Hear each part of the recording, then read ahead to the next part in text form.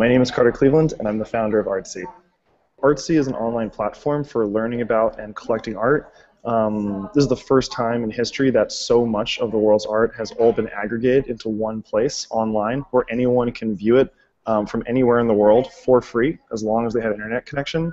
Um, part of the experience is about seeing the art and understanding the art and learning about it, and that's why we created the Art Genome Project, which maps all the essential characteristics of art, much in the same way that Pandora um, has the Music Genome Project, which does the same for music. So, for instance, if someone discovers a work by Mark Rothko, they will actually see the related genes um, for that work, such as abstract expressionism, or New York School, or color field painting. And they'll be able to click on those genes and learn more about them, and then discover other um, related artists. I actually never intended to be an entrepreneur uh, growing up.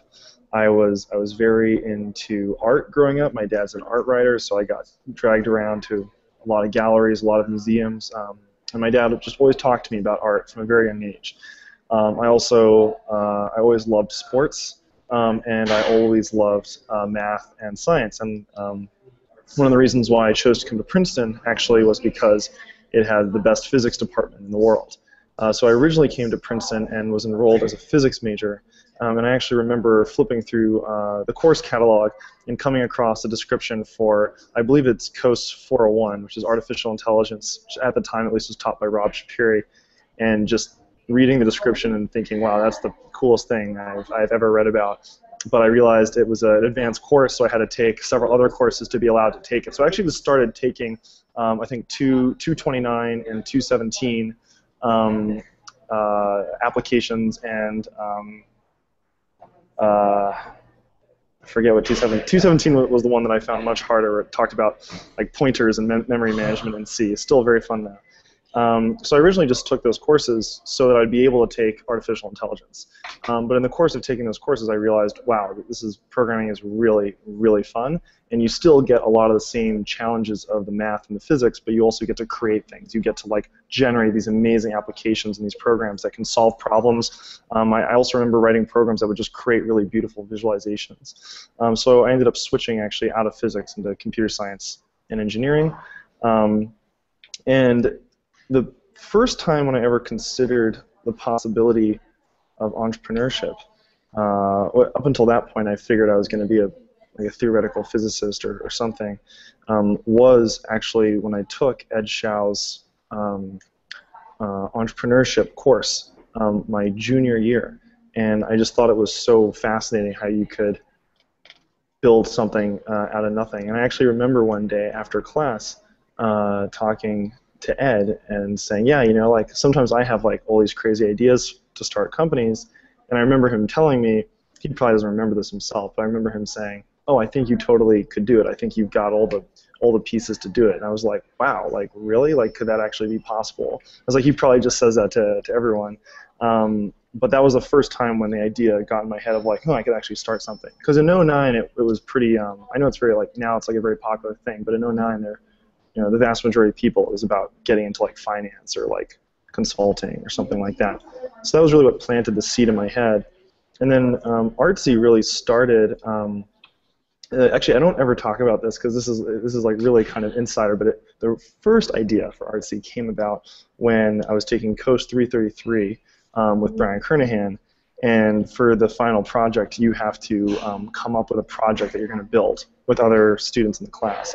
And one of the ideas I threw around was like, guys, what about a social network for artists? and I think we said, well, that's a really great idea, but there's no way we're actually going to build a social network for artists like, you know, um, within the scope of this one project. I think today, with all the tools that are out there, you could probably spin up a social network for artists in like a few days of work, but but in 09, uh, or no, this was even 08, um, that was like a really like challenging thing to do. So we ended up doing something much simpler. But then I kept like thinking about that idea, and I remember actually meeting uh, with people who are getting involved in tech and entrepreneurship, and being like, yeah, you know, like I've got a few ideas. I've got this one idea, like it's never going to make money, like it's never going to be a profitable company, but I just can't stop thinking about it, which is this idea of like a social network for artists or like a way for artists to get their art online and more efficiently connect with an audience. It's just, I, I have no idea how it would ever make money, but um, yeah, I just I just can't stop thinking about it, and I, I, that's how I was originally like kind of talking about it with people, and then it was really the fall of my senior year, and this is the part where like in the press I talk more about Artsy's beginning, but that's a little bit more. It's it's real genesis. It was actually COS 333,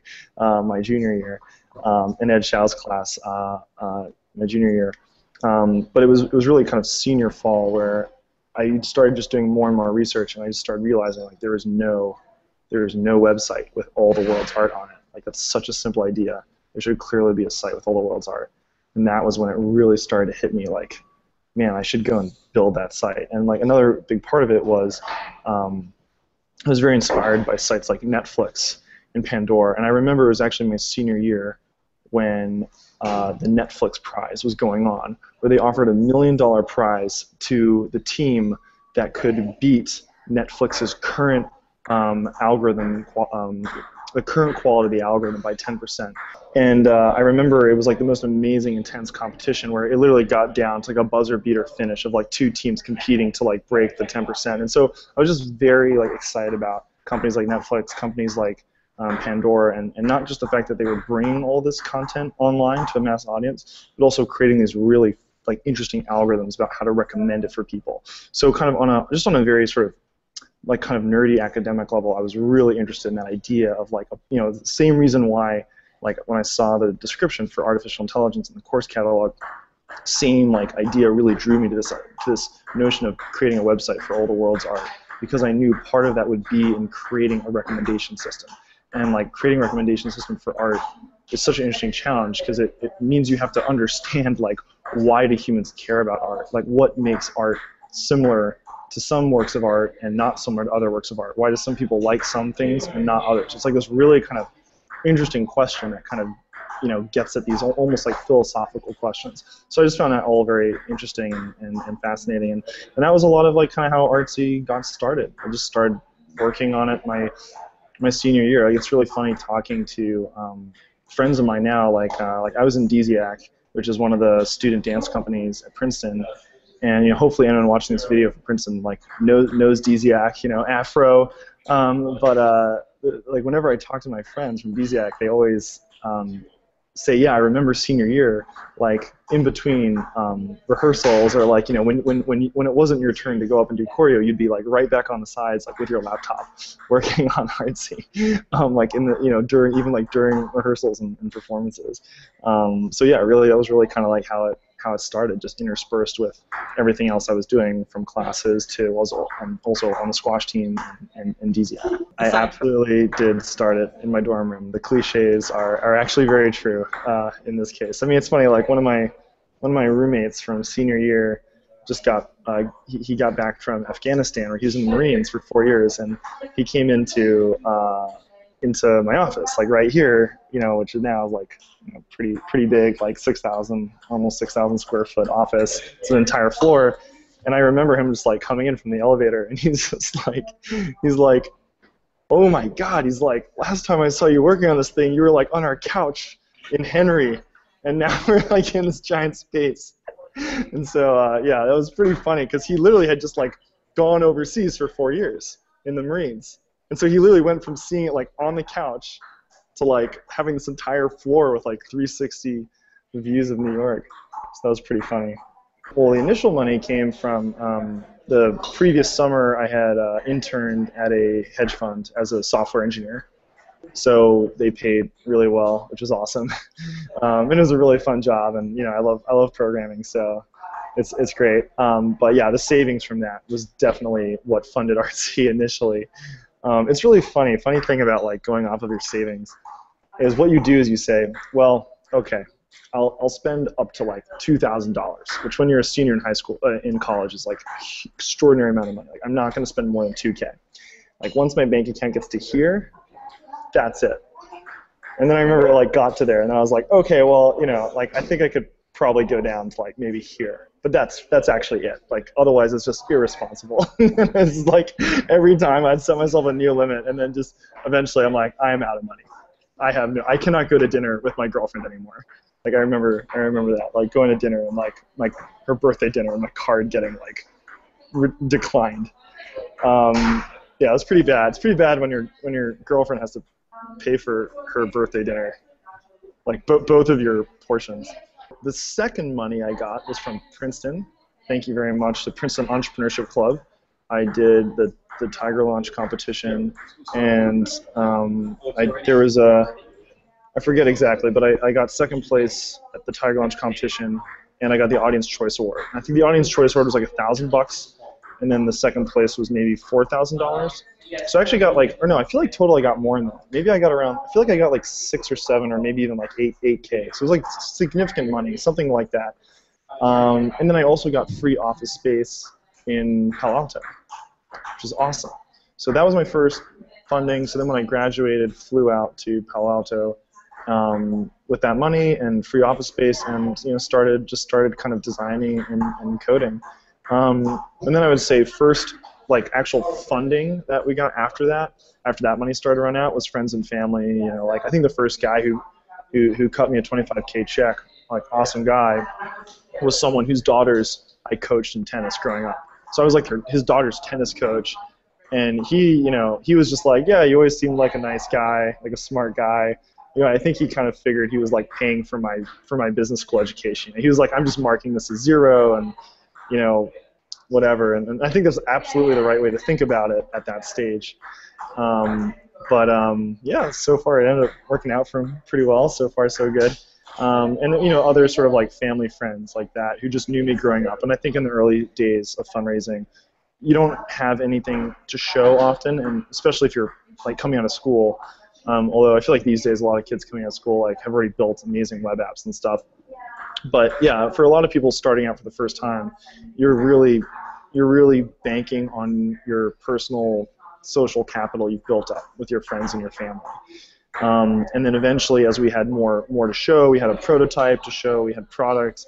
Um, we we were able to attract more angel investors, um, just people that you you know you meet through the community, and that's just like a lot of hustling. That's like I think when I I ran out of money in Silicon Valley, so I moved back to New York and it was like in New York every single night, just every tech event. I was going to every single event every night and just meeting everyone, and you know, so I could find people to hire or people to to invest, and um, that was kind of how we we started to get angel investors, just having like hundreds of coffees and lunches and meetings, and you know, asking people to invest, and you know, you'll get like a hundred no's, and then you get maybe a maybe every now and then, and one day you get. You know, I remember the first time you get a yes you're almost like you're like oh well well why wouldn't you? Wait oh oh great yeah um, that'd be awesome. Um, so you know here's the terms. You have to almost I remember like the first time it happened like I wasn't even expecting it because I've been rejected so many times. I like forgot to I like just started uh, I, yeah I almost like like kind of caught myself. Um, and you know and eventually you start to get some yeses and then then this crazy herd mentality kicks in and suddenly everyone wants to invest and suddenly you know you're the you're you're you're the, the the attractive person at the party right? You go from being the person who isn't even like let in and then all of a sudden these like herd dynamics kick in and then suddenly everyone wants you. Um, and so that was kind of how we you know ended up going from being totally self-funded to, towards getting that initial uh, seed stage funding you know what you need in the early days is always going to be different because it, it, matches the growth and the evolution and the needs of the company. I mean, that's kind of like the beautiful thing about companies is they're just like they're almost like these beautiful um, like creatures that sort of start out like really small and like you can't even really see them. You have to sort of squint and like you, you have to kind of like almost hallucinate them initially, and then like you start to be able to make them out, and then they become a little bit more real, and then each time they grow, they need different things to go in different directions. So for me in the early days, what I had, what I brought to the table was was almost nothing really. It was just like I was very passionate that there should be a website with all the world's art. Um, I just believed in that really strongly, and um, that's largely what I had. Um, I also was very excited about technology and artificial intelligence, and you know, I had more of this theoretical physics background, so I was very comfortable about the algorithms. Like I understood like how all the recommendation stuff would work. Um, what I did not bring, which I think a lot of computer science majors bring, is, act, is actual web engineering, is actual engineering experience. So I actually didn't, you know, I, I could build things, but just very slowly. So I really needed someone who actually would bring the web engineering experience, and so, and also the product experience, like design and stuff like that. So in the early days, it was like people who could help with that. Um, and you know we made a lot of mistakes, like learned a lot of things, um, you know, but eventually found the right technology partners to, to actually take Artsy from this sort of like, you know, ethereal like creature and actually start to turn to something real, something that we could demo and show to people. Um, another big breakthrough is that we uh, met um, our president and COO, who was a former executive at Christie's, who built out their private sales to like 100 million in revenue first 12 months, and before that was a Bell Labs software engineer and like a math major from Columbia. So like kind of like the perfect like code meets art world executive um, guy, and so he joined and brought that experience and operational ability and art world relationships and art world expertise. So that was like a critical piece of Artsy becoming real was someone who had that amazing like domain expertise and just you know maybe even more importantly just someone who's fundamentally a really good person that I really like trust on deep level. Um, and we also uh, shortly afterwards met our uh, head of engineering, DB, who runs all our technology, and um, Robert, our head of design, who runs design and, and, um, and is responsible for our, uh, our product. I would say in the in the early days, um, in the early days, it was it was really about getting a product out there, and then it was really about building relationships with galleries and museums. And so a lot of people we were hiring was about product and technology, and then about galleries and museums. And I'd say like today, now that we're kind of just growing and scaling, um, we're hiring a lot more people that are that are very junior, like maybe right out of right out of college, um, who uh, are doing uh, gallery uh, relationship management. Um, I think we just hired actually a few people from Princeton on the gallery relations team, actually from Princeton. Um, we're also hiring people to work on the genome team. So this means for all the art and artists coming into our system, we have a team of people that will act like art historians that will go through and categorize all the art and the artists based on art historical information. Um, so we're hiring a lot of those people. We're also hiring a lot of writers now. So we're creating a lot of educational content. We're writing about the shows and the auctions and the fairs and, and just the art. Um, so we're hiring a lot of writers as well on the editorial team. Like those are the teams that are probably growing the fastest. But of course, we continue to hire uh, engineers, uh, designers, um, product product people, um, marketers. We're, we're growing the marketing team very quickly as well. Um, yeah, I would say that's like largely how we've how we've changed. Oh man, I could talk all day about the culture of Artsy. That's probably if I was gonna die tomorrow, that's like what I'd want my tombstone, just the people and the team. Um, so the culture. So if I had to describe our culture, what I'm really describing is the kinds of people that we want to hire and the kind of behavior that we that we reward at Artsy. Um, so so the most core thing about Artsy in general is this very abstract idea, which is the idea that our purpose is to bring together art and science. So two worlds that often um, kind of don't trust each other or don't interact with each other much. And you know, most people who are like really into science maybe aren't that interested in art or they're kind of like distrustful those artsy fartsy people who are kind of off in the clouds and you know don't really know what they're talking about. Or you might find people who are like really really into art but they're very distrustful of those like highly logical rational people like oh they, they you know everything has to be about numbers like everything has to be about logic like they don't understand the power of intuition like they're missing the bigger picture. You know you, you know you'll often hear that but i think that for like you know a good percentage of people like maybe 20% of people um, i think really believe that like the real kind of beauty is in bringing art and science together. Like there's there's it's hard to articulate because the act of articulation is inherently a kind of logical process of like mapping concepts to symbols.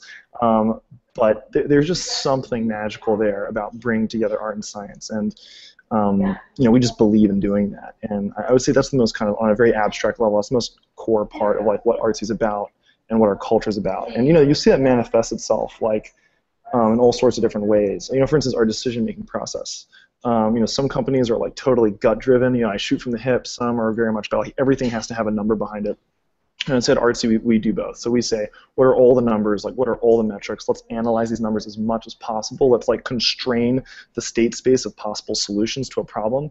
But we found that for all like the hardest decisions, the most important decisions, there's always like a gap. Like you can only constrain, you can use logic to kind of and numbers to kind of like guide the decision, but almost always you're still left with a gap. And it's within that gap where the human in- intuition, that sort of like human multidimensional artificial intelligence, like is so powerful. And you have to make that judgment call. You have to go with your gut. So we very much believe in bringing those two things together. And you know, I'd say Facebook and Apple are also very similar in how they do um, uh, decision making. But also means when we look for people, look for people who are like very smart and very rational, but also like have really great intuition um, or like really great collaborators. And that brings me kind of my next point. It's like the people we hire, we look for people who are like ultra high performers, like people who are the best in the world at what they do, but who are also incredibly good collaborators, people that other people just love working with, that they enjoy. You know, anyone we hire has to be someone that you are excited to wake up in the morning to get to go to work with. Like, I just can't wait to go to work and get to work with this person. They're just so awesome. Um, and that can be tough to find too. There's a lot of people who are great collaborators, but don't actually um, perform. There's a lot of ultra high performers who are like awful to work with, and we've had to make the painful decision of saying no to great people many times because they don't satisfy those two constraints. That's a critical thing. Ultra high performance, but amazing, humble, like zero ego collaborators. Um, I'd say that's like the second most important thing uh, about our culture. And then I'd say, you know, just to kind of like round it off, I'd say we all at Artsy, we also all believe in this notion of of, of like education. Um, like if you look at Artsy as a website, what are we doing? We're making all the world's art accessible to anyone with an internet connection. It's a very like educational mission. But even if you look at our code, like we take like for a company of our size, we contribute so much to open source. Like so much of the code that we build at Artsy, we go the extra mile. Like we take more time and effort to actually take our code and really like wrap it up really nicely and then contribute to the open source community. We hear people all the time say things like, but like, don't you realize that your competitors can then just like take your open source and use it to accelerate their projects? And actually, that happens. We know it happens, um, but we just believe in the long-term value of giving and educating and you know, we're confident from a from a selfish business perspective that that value will come back to us in, in many ways. And I think one, the most obvious of which is that um, we have by far the strongest engineers of any of our competitors because engineers want to work with other great engineers. And open source is, a, is an amazing way to, you know, so many startups struggle to find great engineers, whereas we feel like we constantly have amazing engineers coming to us through our networks and through open source. So I'd say that's like um, another really important part of our culture and our values. Is we just believe in, in giving and, and, and educating people. I'd say in the early days, like we were kind of constantly running out of money uh, and constantly looking for funding. And there were definitely moments where, you know, I felt like I think we got to about at one point we were like seven days away from bankruptcy and I was like completely out of money personally. Um, no bank would no bank would give me a credit. I don't have the like maxing out credit card stories because I, I was never able to get my hands on like credit card. I would have maxed those things out. Um, so you know that was very stressful. Like I definitely remember, you know, like just g- getting so bad. I, it was like hard to move, like hard to like move things forward, and you're just so uh, uh, stressed out. Um, so those were kind of like some of the, you know, and just finding the like drive to like keep moving. You know, you're kind of like this really sucks, but if I don't keep moving forward, it's just gonna suck even more. so you know, those are those are probably some of the most challenging times just in the early days when just like there's there's no sign that anything's working. Like you know, you don't have traction in terms of revenue, you don't have traction in terms of users. Um, you know, you're meeting with galleries in the early days, and the galleries are like, you know, why should we partner with you? Like they don't see that they don't believe in like art being online. Like a lot of investors I met with were just like, hey, you know, this is a great idea, but fundamentally art is never going to be bought and sold online. So your business is just fundamentally fucked. Um, just like hearing a lot of that kind of feedback from both potential customers, you know, users, investors, like you just get to this point of like, is this thing even gonna work? Like, is all the money and energy and time you've spent actually going to mean anything. So yeah, those were the toughest moments. But um, you know, at this point, I think we'd also taken money from like friends and family, and you know, once you take people's money, you don't really have any choice. you just have to like keep going. Uh, you just can't like you just can't give up. You know, this isn't this isn't like when you're a kid you can just quit. You can't like can't like it's not like band camp. Can't quit. so you just gotta, you just keep going. So where will where will I be and where will Artsy be in five years? Well, um, I think in five years, uh, I mean in five years, I hopefully like way before five years, pretty much anyone, everyone in the world will um, know about Artsy, and my hope is that um, hundreds of millions of people, if not over a billion people, will be will be will actually be visiting Artsy on like a weekly basis. Um, so I think you know maybe one percent of those people will actually be buying and selling, but I just want it to be, you know, I just want art to be as popular a part of culture as music or film. and I don't see why there why there's any reason it can't be. So in five years, I'm hoping that like at least hundreds of millions of people are visiting Artsy on a on a weekly or at least a monthly basis, just because they've got you know their favorite artists, maybe like really famous global artists, or maybe like their local in their random you know city or their random town or their random village or whatever. You know, just like whoever the artists in life that that they're most interested in, they've got their favorites and they're seeing the new art that they're creating. They're they're reading um, you know great articles about these artists, or you know the artist is like taking a picture of like an install shot, and they're just engaging, you know, almost like a social media platform like Facebook or something. Um, and just you know a lot more people are into art. You know, hopefully in five years, like 10% of the entire like um, at least of the developed world is like super passionate about art and like reading about it every day. You know, maybe 70% like interacts with it casually with friends, goes to shows, and then maybe you know maybe 30% will never really care. But you know that's kind of like what music and film is like, right? Like 10% of people, it's like their life uh, obsession, and then maybe 70% it's like something they're interested in. So hopefully we can, you know, whereas like today with art, it's like 1% of people like really care. You know, can we get that to like a much higher percentage? Um, and on the business side, um, I just think in five years, like the market is going to be 10 times as big, and I think there's going to be 100 times as many people buying and selling art, and they're going to be doing it a lot more easily, a lot more efficiently, in a lot more transparent manner. Like a lot, you know, people aren't going to be getting screwed over as often, and as a result, well, many more artists will be creating art, and uh, you know, in a sustainable way, like get, getting paid to do so. Um, many more get, many more people will will get to be artist managers or galleries, um, and that'll that'll just be like a much bigger business. Um, in terms of, you know, I think it'll be a lot, it'll be very similar in many ways, like the film industry or the, the music industry. Um, you know, I, I, certainly hope that I'm still CEO in five years, uh, but that's contingent on me um, being the best person for that role and doing a really good job. And uh, if there's someone better, then uh, then they deserve to be CEO. So uh, you can never take these things uh, for granted. It's, it's not really about me. It's about what's best for Artsy. I think mentors are critical for everyone for instance, I think like Ed Zschau just tell you know just very efficiently is telling me at class, hey, I think you actually have what it takes. Like, you know, that was like a one second thing he said, but that was really important. so that was really valuable. Um, uh, uh, Joe Kennedy, who was Princeton uh, 89, I believe, also um, computer science and electrical engineering. He's the C, or he was the CEO of Pandora at the time, and he actually came and gave the um, the keynote speech for the Princeton Entrepreneurship Conference. And after the conference, I just kind of like ran up to him. It was like the worst time because everyone's trying to talk to him. And I remember just like kind of jumping into the fray and being like, hey, Joe, I'm about to graduate. Also, computer science engineering, starting Pandora for art. like, really? Like, I'm about to go. I was just like, what is the most like sound bite? You know, like, I am like the younger version of you. Like, um, will you help me when I go out to California? And he was like, this is my email address, shoot me an email. He just said it and then, you know, like disappeared among the frenzy of people like trying to talk to him. Um, and I was like, well, at least I went for it, you know, whatever. Shot off an email to that email address, you know, didn't think too much about it. And he responded and he and then he actually met up with me.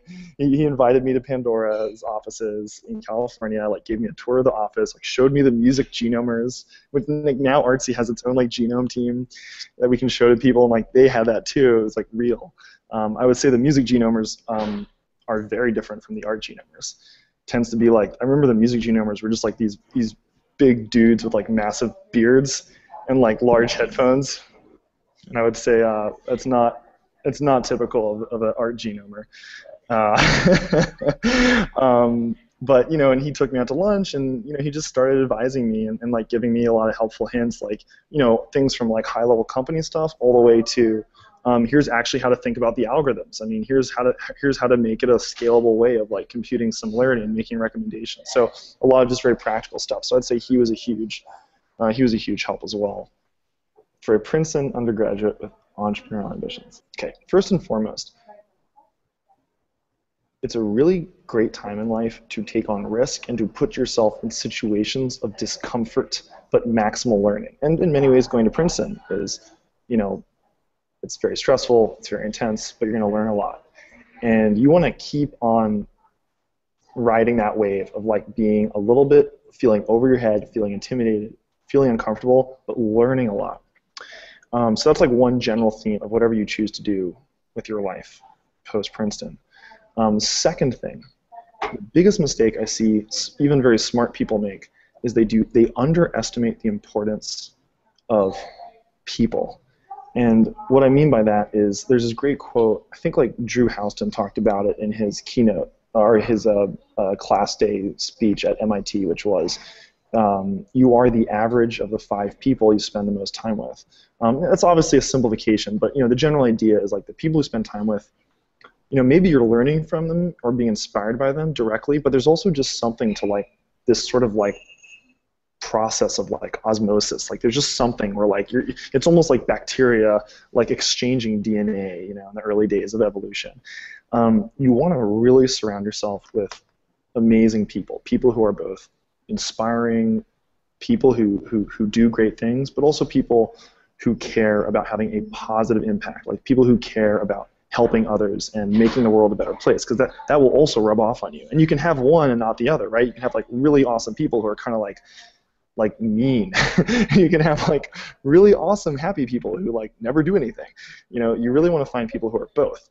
And then you want to surround yourself with them. And the most obvious way to do that is the people you work with. Um, and that's really important. Like more than anything else in life, I would actually optimize, especially right out of college, to work with people who are amazing.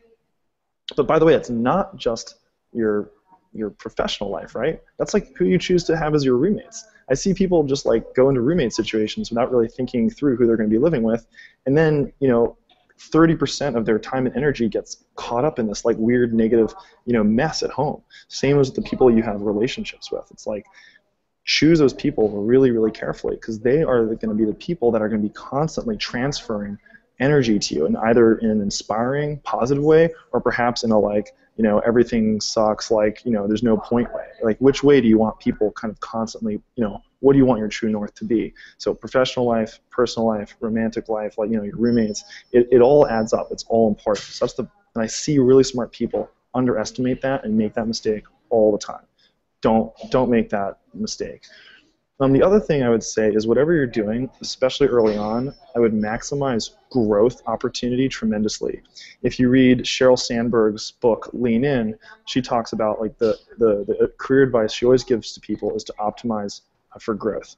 And I think particularly situations where there's opportunities for compounding growth. Like when we were evolving as animals on the plains, we never had to deal with like, you know, predators who could like run after us at like an exponentially increasing speed. Like that'd be the scariest thing ever. Like we never had to deal with that. Like our brains are just not like we never had to evolve to deal with like exponential like compounding forces. And so it's something that we tend to underestimate. That's why a lot of people go bankrupt is they just don't, or a lot of people like default on loans, is they, you know, compounding interest. It always seems like so small, but it adds up in over time in really powerful ways. Um, the positive side of this is that if you join a company that has a compounding growth effect, so like joining Facebook in the early days, joining Artsy now, I'm just going to put that plug in, but like, you know, joining a company like Artsy now has that compounding growth. And what that means is that if you take someone who joins a company that's awesome and doing really well today, and you take another person, like very similar background, but it's joining a company company that's like doing pretty well today, but you're starting to see, you know, it's not as big, it's not as exciting yet, but you're starting to see that compounding growth curve.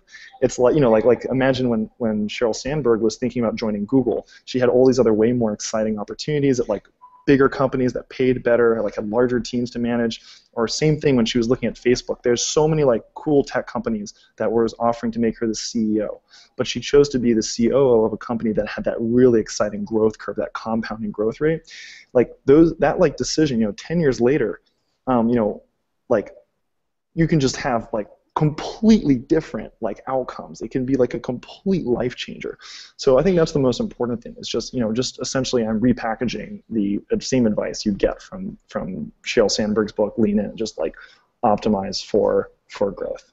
So just to summarize, get out of your comfort zone, take risks, think really hard about the people that you'll be working with professionally, but just throughout your entire life.